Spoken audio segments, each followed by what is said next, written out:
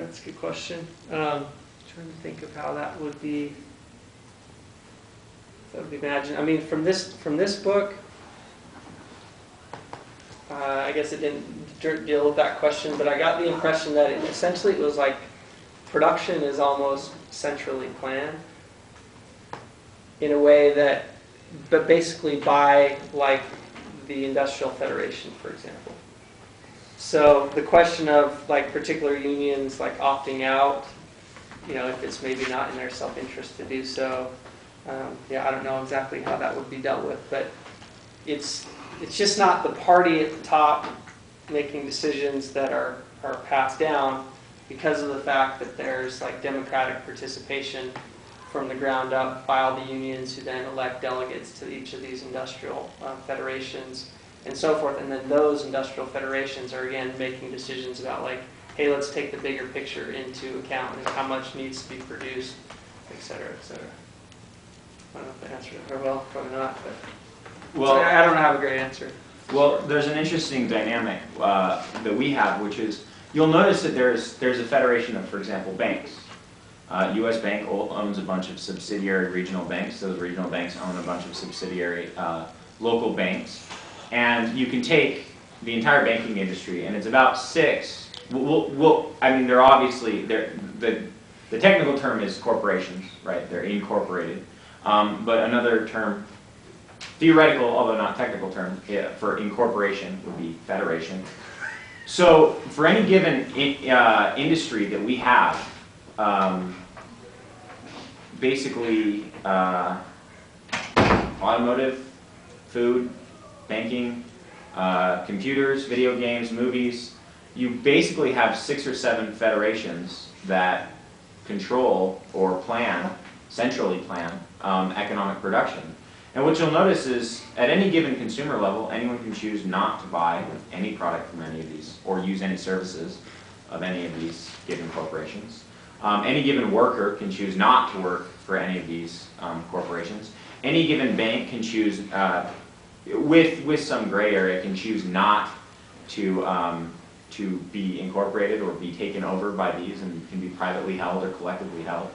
Um, so why, how, how then, if at any given point, any given person can in principle opt out, um, how does that make it fundamentally different from anarcho-syndicalism, except that you don't have a state present to ensure, ensure property? Uh, Well, again, I mean, corporations now are not worker-controlled. They're for-profit. Whatever is produced is kept by a small number of people and it's clearly not redistributed. Um, So again, I don't have a good answer for in terms of like how, um, I don't know, even under an anarcho-syndicalist system, you know, maybe individual workers, and certainly they could opt out, you know, have to like work uh, in that particular company or industry or whatever.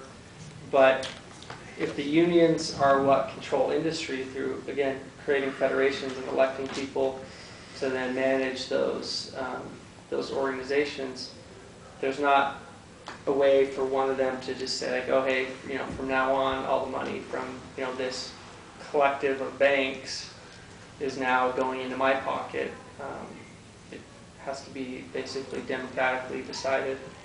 So what would be in the interest of like all the workers that belong to that particular union would, would be what would be the outcome because it's democratically run. That would be my guess. Um, so let's presuppose an imaginary union um, in an anarcho-syndicalist country. And this country is desperately poor, um, except they have a natural resource, let's say oil.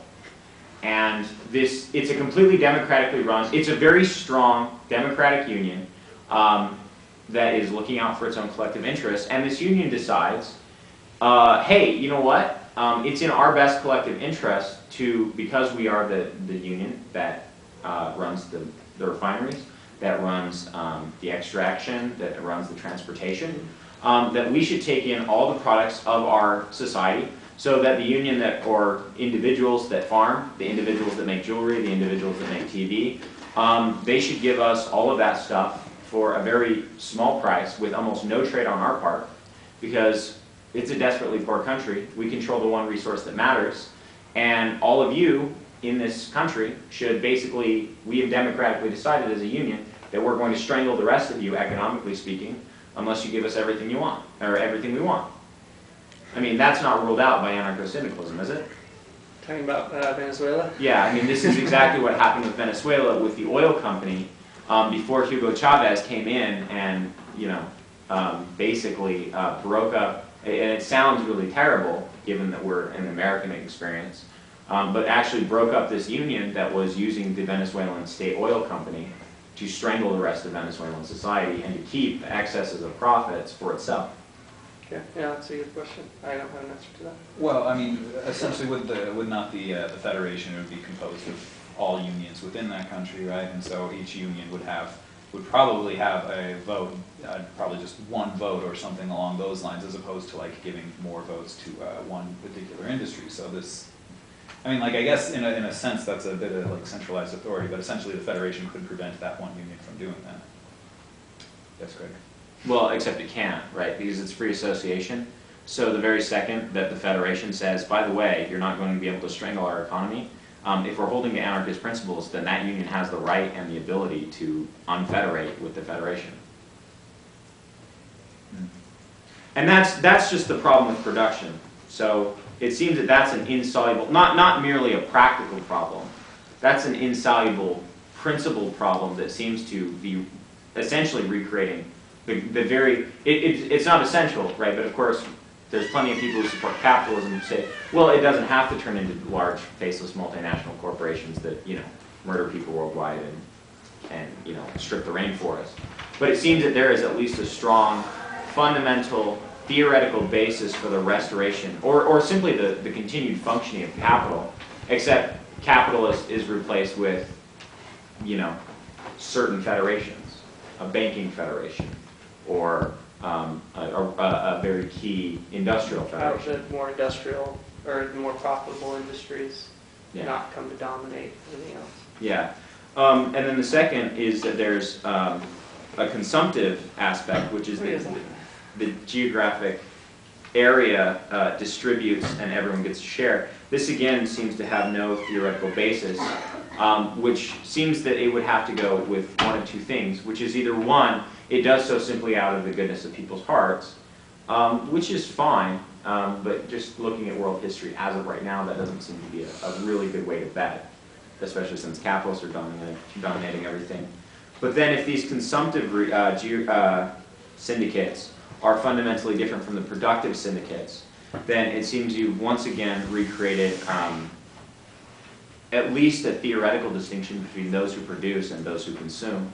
And that also the um, syndicate, which provides consumption, then provides um, a reconstitution of uh, exclusionary groups, um, especially given either one, everybody gets whatever who is, it happens to be in this region, um, which begs the question, well, why not everyone in every region?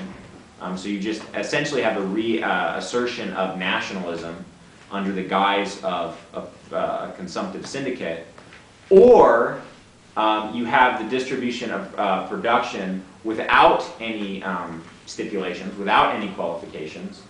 Um, in which case, then it seems that the productive syndicates would simply be become the exploited masses um, to the parasitical, um, theoretically parasitical. Like everyone can be perfectly fine with it, but of course everyone can be perfectly fine with capitalism and still be exploited. But the parasitical, consumptive, regional syndicate. So how would you address that theoretical Well- critique? There, there's not a difference between the two, because say you have, like, you work at, like, Michael's, for example. So your particular union at Michael's would elect a delegate that would be part of a larger federation that would oversee, you know, that particular industry, making frames, apparently. So that's along industrial lines. But then your same union, consist, you know, consisting of the same workers, would also then have a delegate to the labor cartel, is the word Rocker uses for it, which would be geographically based. So, and that labor cartel would then be responsible for distributing, uh, you know, production in this particular geographic area. So, from the same union, you would have delegates that would be part of that industrial um, federation, and then also part of the labor cartel or this other federation that's responsible for distributing um, you know, what is, what is produced. So there wouldn't be that separation or the gap between producers and the consumers, because clearly all of us are both, migrant worker. Um, So there, it would just be that people from that same, um, from that same initial union, for example, would have representation in both of these like parallel um, organizations, so to speak. Rocker refers to it as like the two poles around which like society would, would function.